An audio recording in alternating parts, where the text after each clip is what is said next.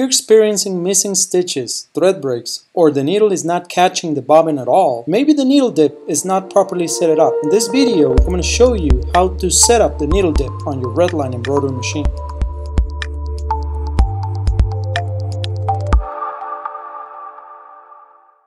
First, you will need to remove the bobbin case from the hook assembly. Then, load the needle manually to 180 degree. Once the main shaft hits a 180 degree, check the distance between the tip of the needle and the peg of the rotary hook. It must be 6 millimeters. In order to check the distance between the peg and the needle, you must use a needle dip gauge. Insert the gauge with the flat surface upwards.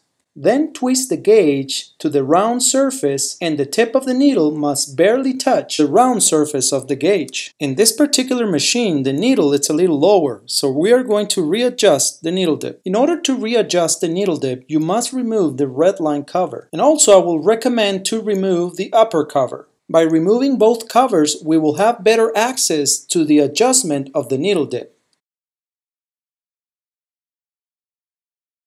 In order to readjust the needle dip, you must loosen the screw of the lower ring.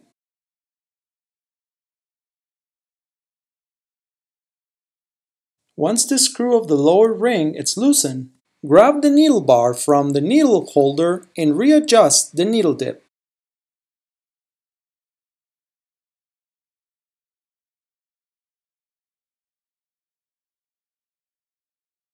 Then carefully tight the screw of the lower ring.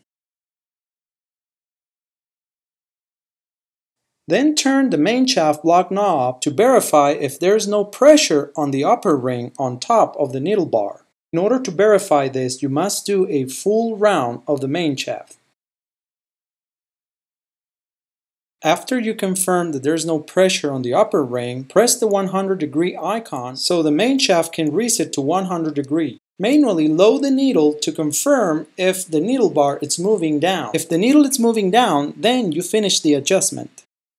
If in the upper ring you observe pressure, you must readjust the upper ring. Now to readjust the upper ring, barely loosen the screw of the upper ring. Once the upper ring is barely loosened, you must do a full round on the main shaft to release the pressure. Once you confirm that there is no pressure on the upper ring, Tighten the screw. Then press the 100 degree icon in your control panel. Then load the needle manually to confirm that the needle is coming down. The needle is coming down, you have finished the adjustment. Press the 100 degree icon Reinstall the covers and your machine is ready. In this part of the video, I'm going to undo the adjustment of the upper ring so you can see how I readjust it. So first I'm going to loosen the upper ring. It's completely loose. As you can see, both rings are together. If you can see, if I try to load the needle, you can see that the needle is not coming down. To readjust the upper ring, I will load the needle a little bit. I will raise that ring and tighten the screw. Using the block knob, I will move the main shaft manually to see if there's pressure on the upper ring. As you can see in the video, there is a little pressure on the upper ring.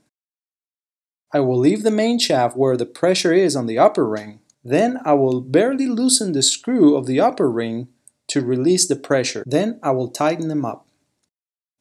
Then, by moving the main shaft manually, I will verify if the pressure is gone then I will press the 100 icon and once again I will move manually the main shaft to see if the needle is coming down. Once I confirm that the needle is coming down, I will press the 100 icon and the machine is ready.